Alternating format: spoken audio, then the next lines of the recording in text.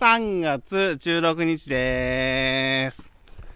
またね、さらっと雪降りましたね。まだ、まだ春にはならないですね。まだ春にはならないです。と、11日に種まきしたビートに最初の散水しまーす。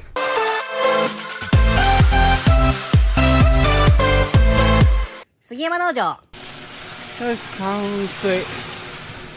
ここに水溜めて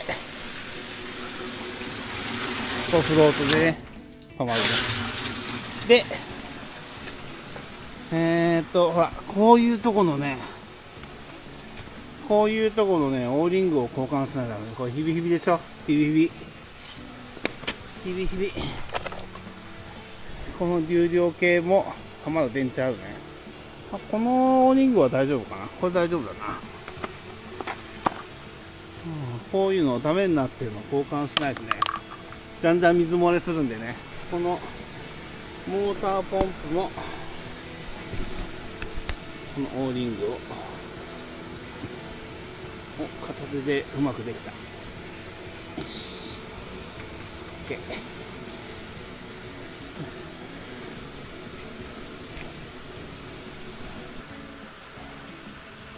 えっ、ー、とね、この間ね、このスクリーンフィルター、これをね、どこで買えますかってね、メッセージもらったんですよね。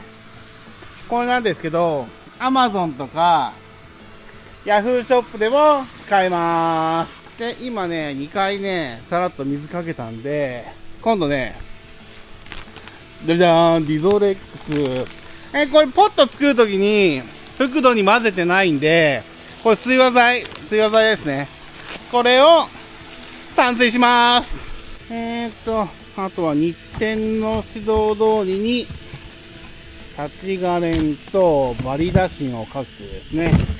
で、時期になったらスミセブンをかけて、で、植える前に、ダントツリンバー、これをかけてですね、やっていきたいと思います。で、今年は、これはね、去年前田くんが持ってきた、持ってきて紹介した金かペプチド。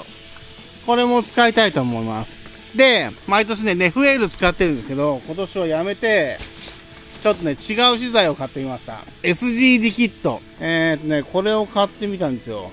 試しにね、これをやってみたいと思います。今年は。ですね。うん。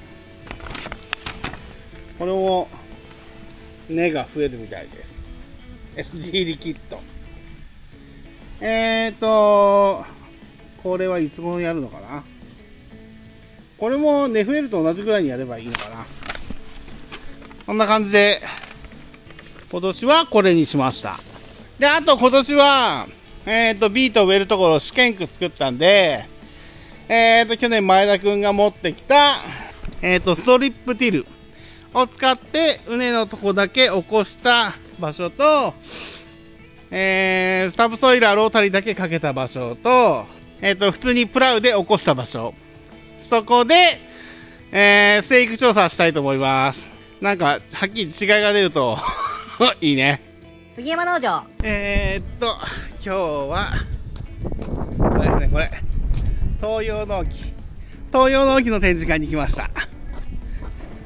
ほらこのブロキャスほら大好評につき年内生産分完売しましたって書いてある。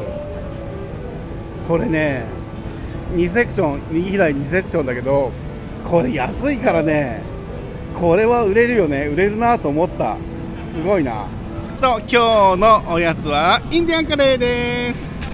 ほら東洋農機の展示会はねいつもインディアンカレーが食べれるんだよね。インディアンカレーを食べに来た。ただきます。うん。杉山農場。